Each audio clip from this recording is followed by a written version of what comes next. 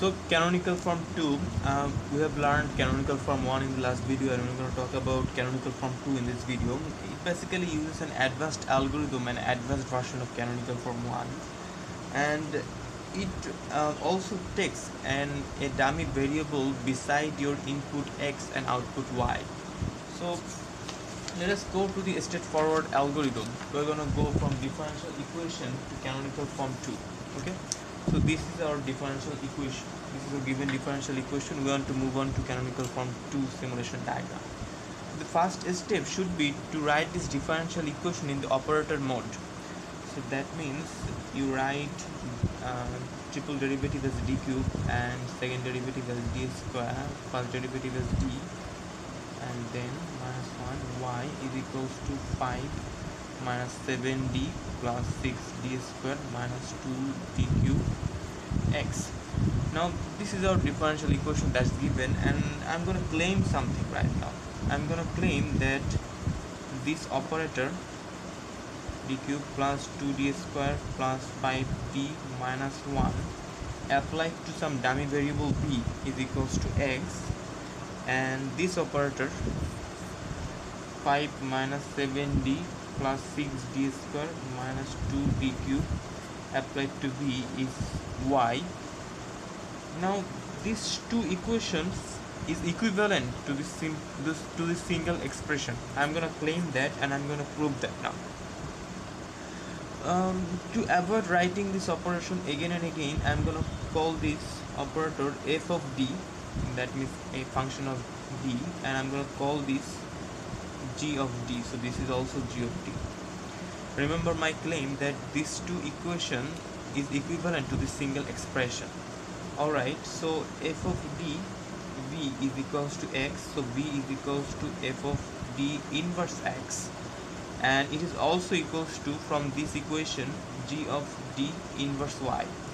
So that means f of d y is equals to g of d x if we uh, cancel out the inverse procedure and this is simply our given differential equation so we have came back to where we were before. But this is much simpler to form in a simulation diagram than this whole process. Alright so we're gonna make out the different canonical form 2 from these two dummy equations with dummy variable v. I'm gonna write the dummy, dummy equation right now so this is the dummy equation of canonical form 2 two equations. Alright so we're gonna create three channel for our three variable for our input x output y and our in intermediate variable v. So v is going to be here x is going to be here and y is going to be here and this is for always fixed. Alright and uh, canonical form 1 we made sure first of all that which of the deriv how which term should have how much derivatives. But right now we're gonna produce the derivatives first of all and then um, try to make x and y according to the equations. So let's see. There are maximum of third de three derivatives so there are going to be three integrators coming out from v. All right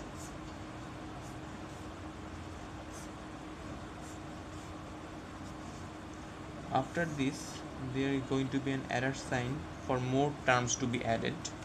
And here is also going to be an adder sign for terms to gets added.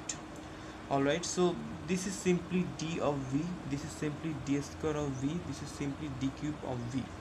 All right so we're going to produce y first of all. All right so it says minus 2 d cube. So that means multiplied by minus 2 and 6 d so that means a multiplication factor of 6 and here is multiplication factor of minus 7 all right and they all gets added. There is no need of added here because there is no second term. And they all gets added and produces y. If we try to see the uh, left hand side and equate the left hand side and outer uh, right hand side we see that minus 2d cube plus 6d square minus 7d of v. And there is also another term which is called 5 of v. Plus 5 of v is equals to y so our y is correctly produced. Now we want to produce now we want to produce x all right so x let's uh, take the coefficient first and multiply with the derivative uh, with our terms all right so with v for x we have minus 1 with dv for x we have 5 5 dv and with this curve we have minus 2 and d cube is already there so we don't have to do anything with that now. Now let's add these terms. And add it finally on the adder. You might think the work is done but you always want to check so that if there is going to be sign reversal or not.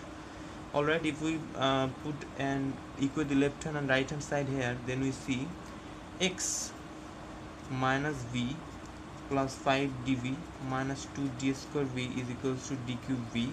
So x is going to be d cube v plus v minus 5 dv plus 2 d square v so all the three terms that had came from the multiplier factor are had the sign exactly opposite of what sh we should have had. So there is going to be a sign reversal here.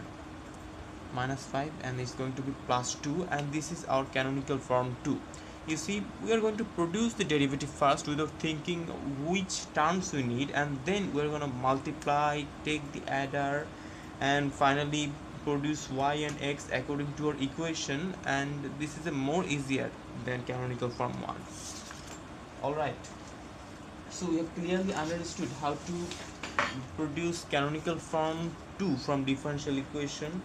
Now we're gonna have our canonical form and we're gonna move to differential equation. Alright so um, we have this is our canonical form given want the differential equation system differential equation relating input with output.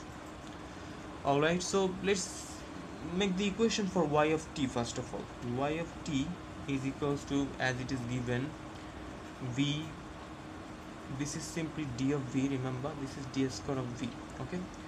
V minus 3 d of v plus 2 d square of v. So if we uh, take the operator ahead 2d square minus 3d plus 1 of v. And what is going to be x? Let's equate the left hand and right hand side over here. The arrows coming in and arrows coming out going out.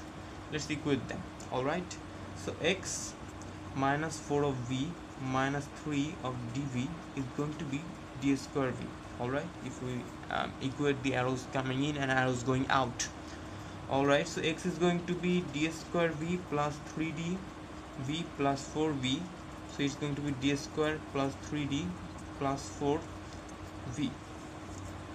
Now as we have demonstrated when you have this sort of equation that some operator applied to v equals to y and some operator applied to v equals to x we can form a single equation.